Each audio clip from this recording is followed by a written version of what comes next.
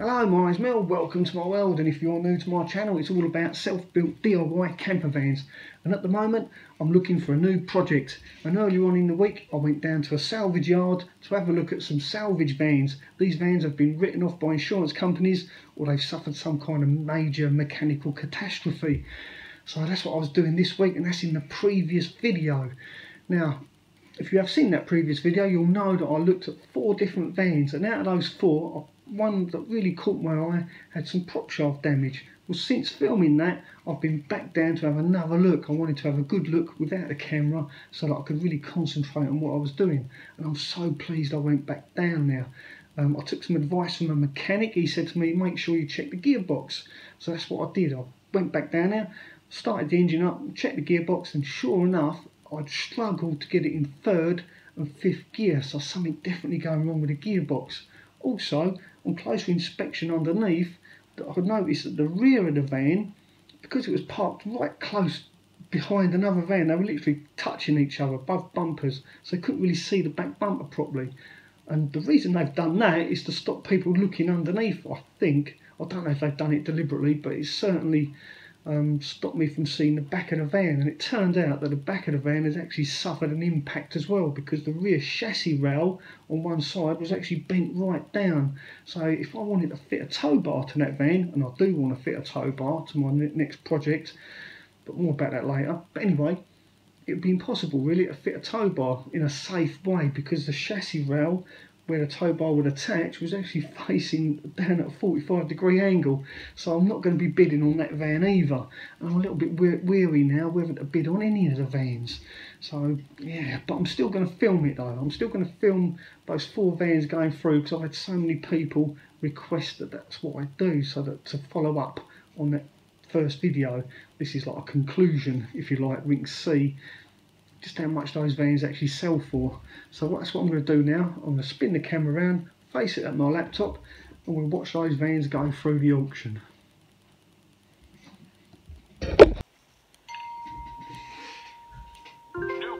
Now this one was the one that was really smelly inside and just about every panel on this van was damaged.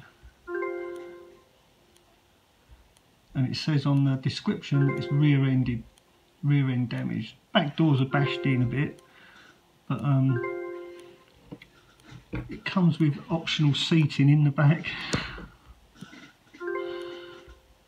But it started up fine and it says it drives. But when they say it runs and drives, in the description it does mean it literally started up and they drove it forward about a foot. As you can see, the side is all damaged. It's up to £2,300, still cheap because out of the four that I looked at, this one is probably the one that you could drive out. Probably the only one that you could actually drive out of there. 2450. This is a hot lot. This is a hot lot. You're right.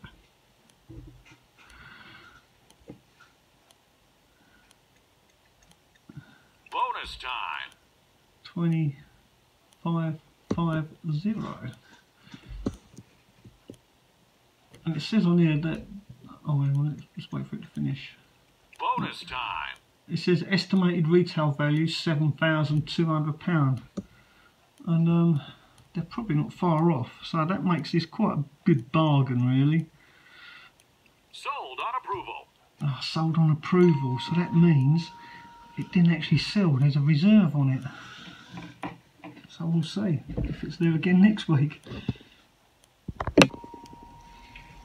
So there you go. This is my favourite one, I think, because um, the interior actually smelt like it was brand new still, despite the mileage. Um, yeah, just something about it. It was like really clean. But here we go. It's just at 1500, 1600, 1650. This is a uh, 2012 van, so yeah, quite cheap, but it has got a little bit of damage on the front. it's just a flesh wound.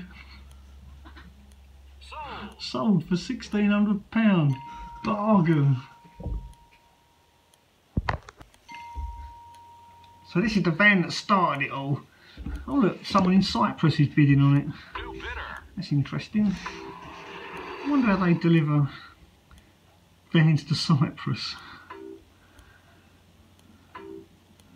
Cyprus again. Look at that. 1250, 1300, 1350. 1350 to Cyprus.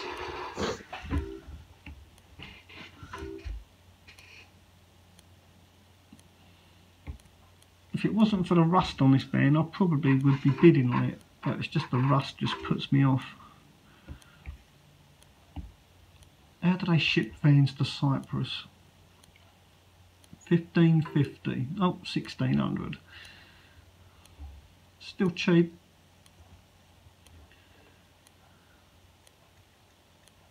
Bonus time. Oh, that winds me up. Looks like it's going to sell for sixteen hundred pound. And the reason it's red is because I've been outbid. Because I did actually bid on this.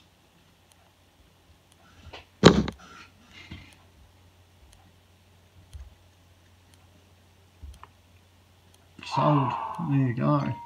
That was cheap. But like I say, just a little bit too much rust for my liking. So here's the Sprinter. This one this is the one with the um, undercarriage damage.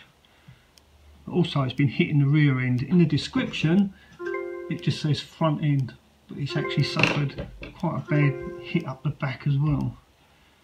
As you can see in this photograph, you can just see there the outrigger, and the other one's facing down, and that's where it's bent. At £1,500. Oh, that's a better photo, look this part here, this is where the chassis rail at the back is bent and if you wanted to fit a tow bar on this you've got no chance. There we go, £1,600. It's interesting to see how these can suddenly get more and more and run up. So I'll just shut up and let it run.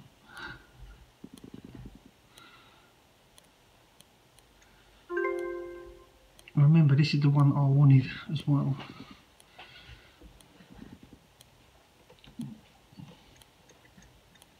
Bonus time. This is really annoying, the bonus time. £1,700 so far. And somebody else's bid like the last minute.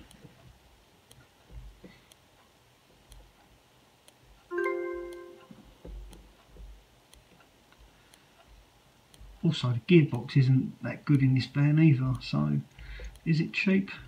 Bonus time. £1,800 for a van with a knackered gearbox, a knackered prop shaft and a bent rear chassis. I don't know if that's cheap or not. Bonus time. I don't think I want to bid on it, that's for sure. I know one thing for sure, somebody's going to be very disappointed. Sold. For £1,800. God blimey, the state that. Well, there you go. Probably the cheapest place to buy a van on the planet, but most definitely, most definitely the most riskiest as well. I mean, the risks are huge. You really are taking a gamble when you buy a van from a salvage auction. And I wish the people all the best luck in the world, the ones that brought those vans today. Because they, if they didn't go and inspect them before they bid on them, I think they're all going to be very disappointed. Especially that one with a bent prop shaft. It wasn't only the prop shaft that was bent, it was the chassis as well. And if I hadn't gone down and physically looked at that van for the second time, probably would have bid on it as well. And it did go for a really reasonable price. So I'm so pleased that I went down there and physically looked at that van again. And that's the best bit of advice I think I can give anyone that's thinking about buying salvage is to physically go there and look at the vehicle before you bid. Don't just go on those little photographs online because they simply don't cut the mustard. And the description is so vague you'd be crazy to bid online without physically going there first and looking at the vehicle. You really are taking a massive gamble. So yeah, please do, if you're considering buying salvage, physically go to the salvage yard and look at the vehicles that you're interested in. Now, would I buy a van from the salvage auction? Yes, I probably will because the savings are quite good. Um, but again, like I say, I would never bid just purely on the photographs. So next week, I'll definitely be going back down there to look at some more vans. Um, in fact, I've already got one lined up. I'm really interested in it. It definitely ticks all the boxes, and I'll, if if it checks out okay, I will be bidding on that van next week. So if you want to see that, don't forget, if you haven't subscribed already, please do subscribe, hit notification bell. That way you won't miss me buying another van. And I'm getting desperate now because I want to start another project before the summer's gone. well, thanks for watching. Don't forget to give me a thumbs up. Most importantly, leave a comment below. Feel free to talk among yourselves. And I'll see you next time. ta for now.